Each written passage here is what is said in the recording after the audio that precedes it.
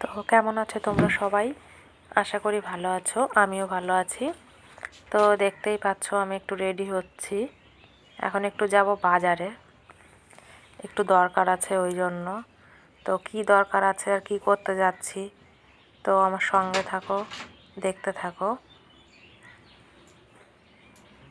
আসলে এই টাইমটা মেয়েরা স্কুলে গেছে, আমার সব কাজ টাজ হয়ে গেছে, তাই এই টাইমটাই যাচ্ছি। এখন বাজে বেলা এগারোটা।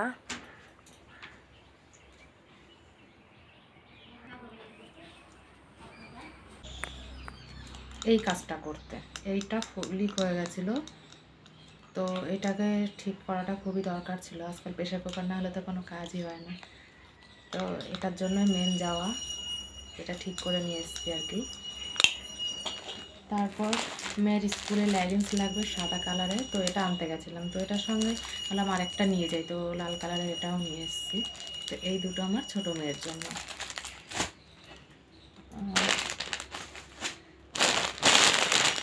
সঙ্গে বড় মেয়ের এক জোড়া মোজা নিয়ে এসেছি, আর ছোটো মেয়েরও এক জোড়া মোজা নিয়ে এসেছি। আসলে কী হয় বলো তো?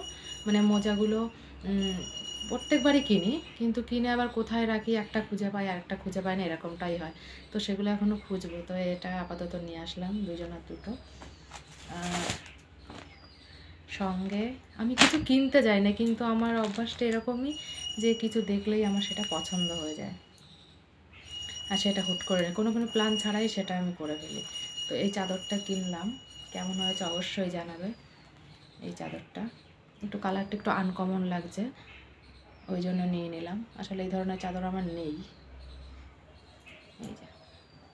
কেমন লাগছে অবশ্যই জানাবে কিন্তু কমেন্টে। তো এই একটা চাদর নিয়েছি, আর একটা জিনিস নিয়েছি, সেটা হচ্ছে এই শাড়িটা। কালারটা দেখে আমার পছন্দ হয়ে গেল খুব। ওই জন্য আমি নিয়ে নিলাম। আসলে শাড়িও কিনতে যাইনি, চাদরও কিনতে যাইনি। গেছে শুধু প্রেশার কুকারটা ঠিক করতে, কিন্তু সঙ্গে এত কিছু বাজার নিয়ে চলে এসেছি। তো শাড়িটা কেমন লাগছে তোমরা অবশ্যই জানাবে কিন্তু কমেন্টে। কালারটা অরিজিনাল আসছে না। যাই হোক, এই যে শাড়িটা, আর এটা হলো আঁচলটা। তো আমার তো শাড়িটা খুবই পছন্দ হয়েছে।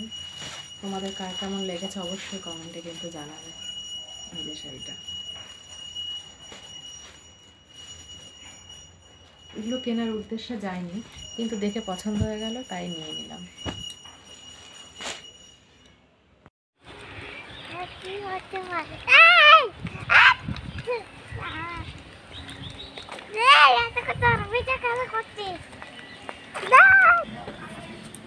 চলো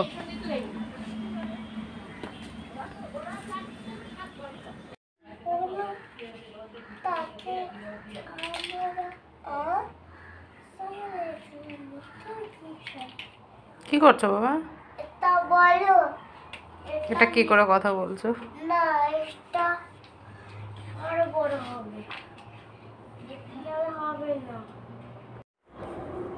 তো দেখতেই পাচ্ছ এখানে গরম গরম বড়া ভেজে নিয়েছি।